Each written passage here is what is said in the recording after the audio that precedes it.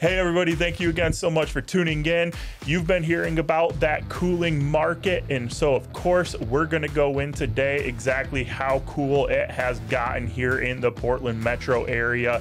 This is filmed right now at the end of August. So, let's stay tuned and we will go over exactly what our market is trending like right now.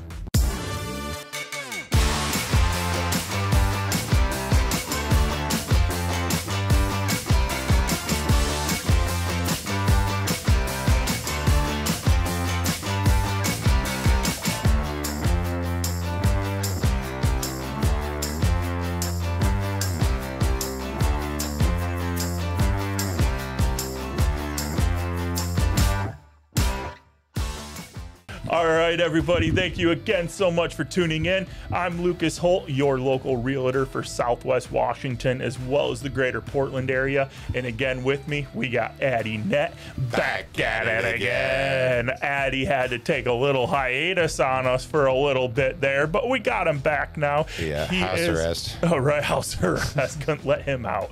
So he is our team lender for us. He gets you the money. Yeah, well versed in the the lending aspect of things, specifically for relocating clients, which I've enjoyed. We've had a lot of great calls lately, you and I, with people reaching out, planning to relocate here to the Pacific Northwest, and we absolutely love it, right, Lucas? Exactly, exactly. So if this is your first time to the channel, please do me a favor, hit that like, hit subscribe, and hit that little bell button to be notified every time we put out a new video twice le- weekly for us.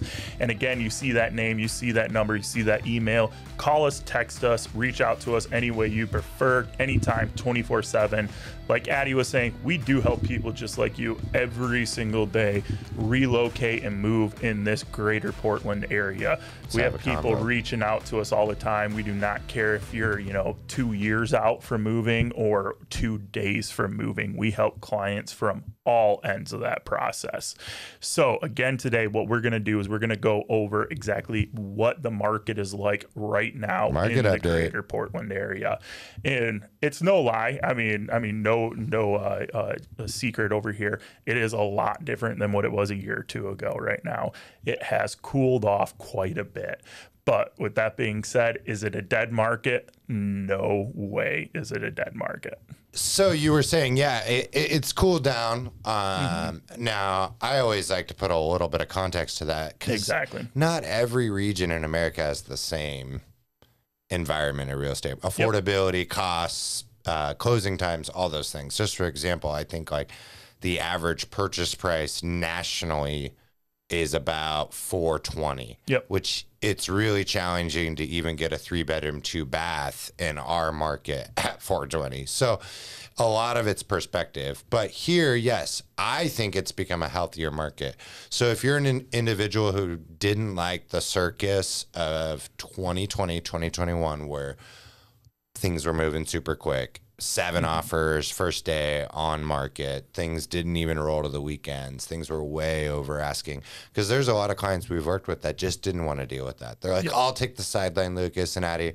I'll wait it out. That's not my."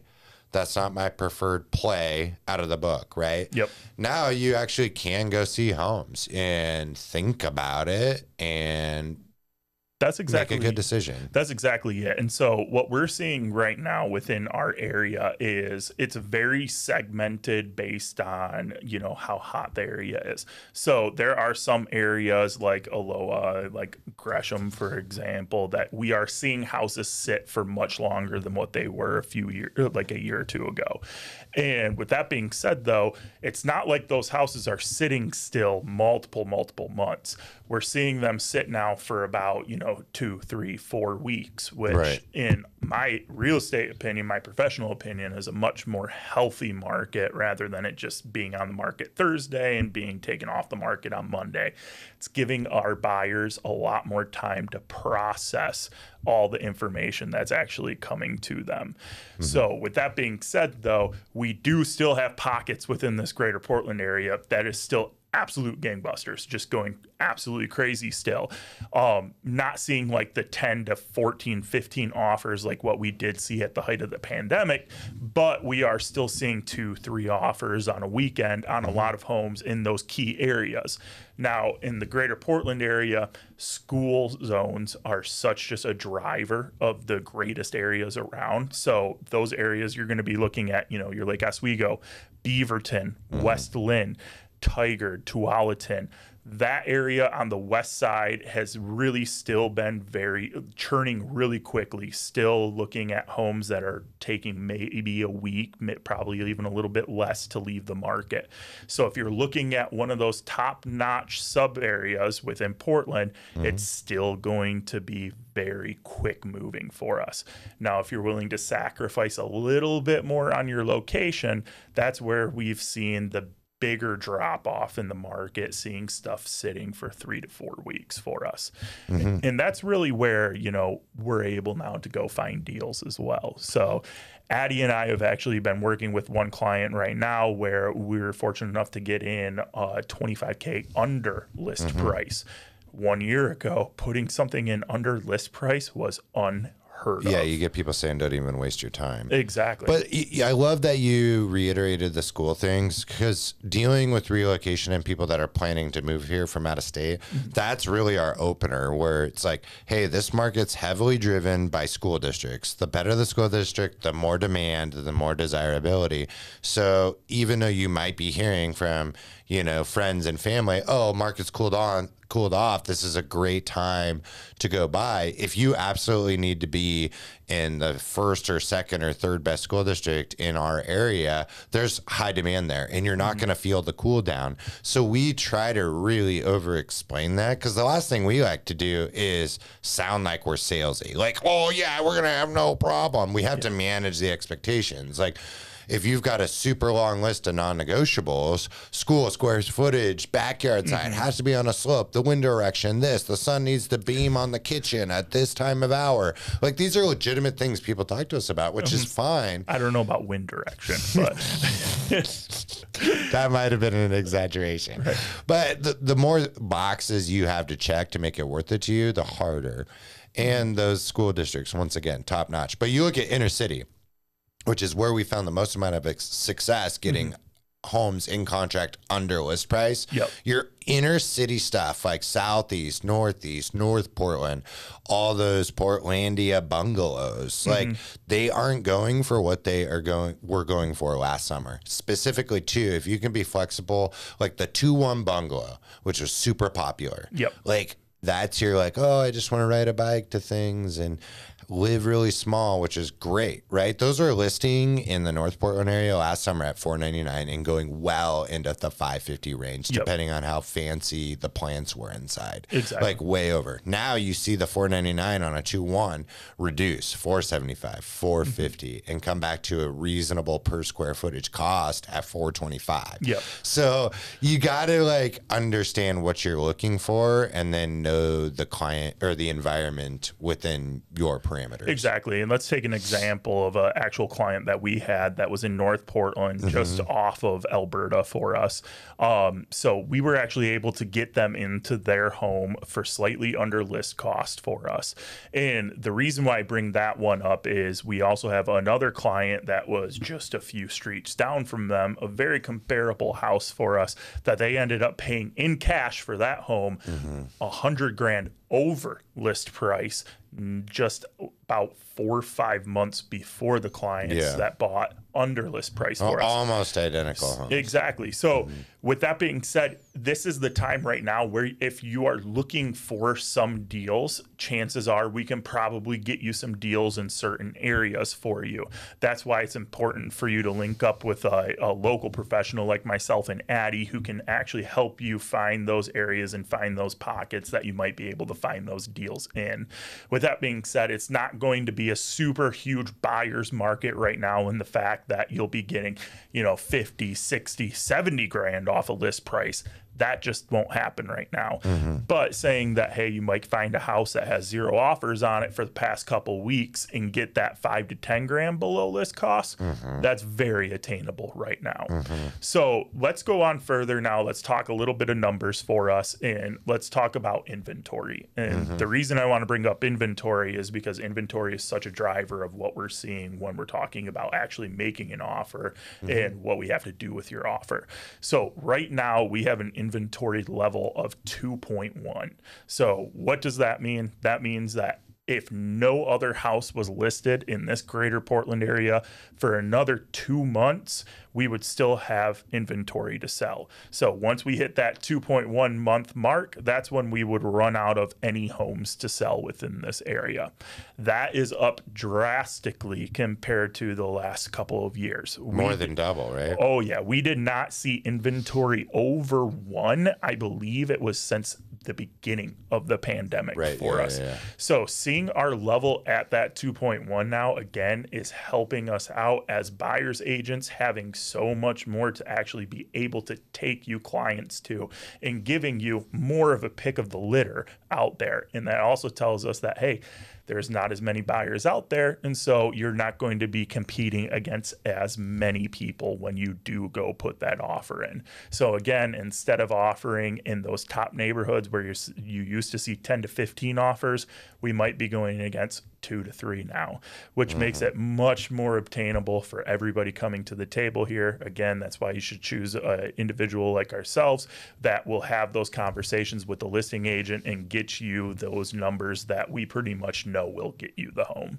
Well, in in my theory and opinion, one of the the reasonings for that higher inventory levels is now with interest rates rising, the home owner or buyers their approval amount or their budget they can qualify for reduces. exactly So when interest rates were at historical lows and their buying powers were twice as high, guess what they didn't have to do to go buy a second home? They didn't have to sell. Mm-hmm.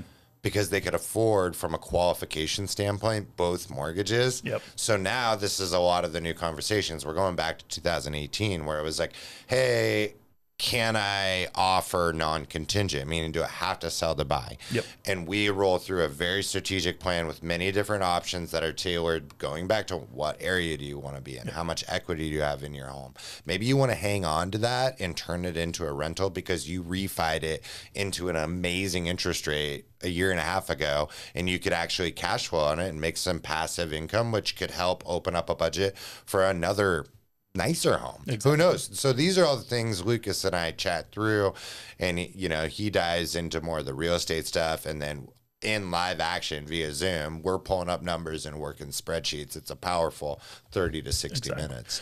So the last thing that I want to touch on now, and again, these are numbers based from August for us, August 2022.